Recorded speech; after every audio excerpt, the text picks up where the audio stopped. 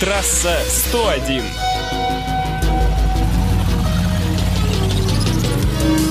Приветствую, в эфире трасса 101. Владимир Сметанин не нарушает. Почти.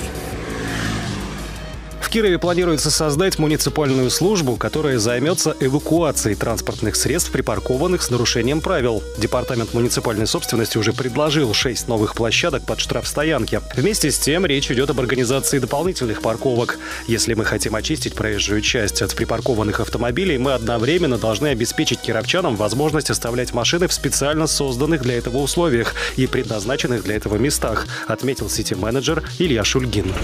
Трасса 101.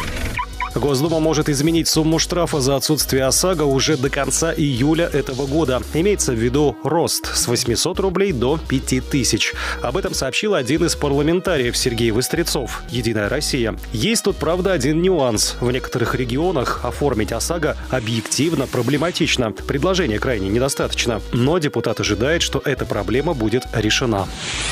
Трасса 101. Министерство внутренних дел коротко ответило Союзу автошкол на его предложение о сдаче экзамена на знание ПДД каждые 10 лет при замене прав. По мнению ведомства, это было бы излишне. Подсластило эту пилюлю Союзу заявление МВД о том, что оно готово принимать и рассматривать любые инициативы, направленные на повышение безопасности движения. Трасса 101. Продажи новых легковых машин в России продолжают расти. Увеличение в январе по сравнению с первым месяцем 2017 31 с небольшим процент. Наибольший рост спроса, по данным Ассоциации европейского бизнеса, пришелся на автомобили «Лада». «Веста» — лидер среди всех марок и российских, и зарубежных. На втором месте Kia, на третьем Hyundai. Вероятнее всего, это связано с объявлением скидок на авто 2017 года выпуска.